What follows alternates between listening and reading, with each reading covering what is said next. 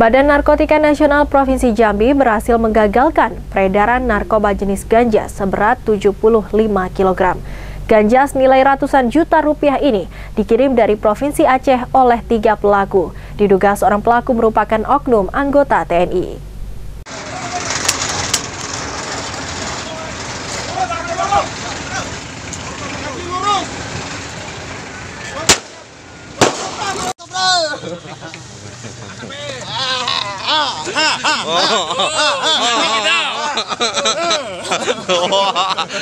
sekarung ya sekarung.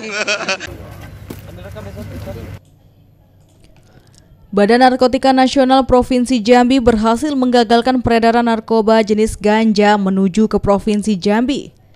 Tak tanggung-tanggung, kali ini petugas menggagalkan 75 paket ganja seberat 75 kg.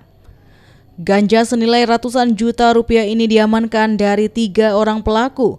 Dua orang pelaku warga Aceh berinisial R dan M, sedangkan satu orang lainnya diduga oknum anggota TNI asal Provinsi Aceh yang belum diketahui identitasnya. Berdasarkan informasi, ketiga pelaku diamankan petugas saat dalam perjalanan dari Aceh menuju Provinsi Jambi. Namun, setiba di Kabupaten Bungo, ketiga pelaku berhasil diringkus petugas BNN Jambi. Barang bukti berupa 75 kg narkoba jenis ganja, mobil, dan beberapa barang bukti lainnya telah diamankan di BNN Provinsi Jambi. Dua warga sipil yang membawa ganja tersebut diperiksa tim penyidik BNN, sedangkan seorang pelaku yang diduga oknum anggota TNI kini menjalani pemeriksaan di Detasemen Polisi Militer Jambi. Asar Patahangi Jack TV melaporkan.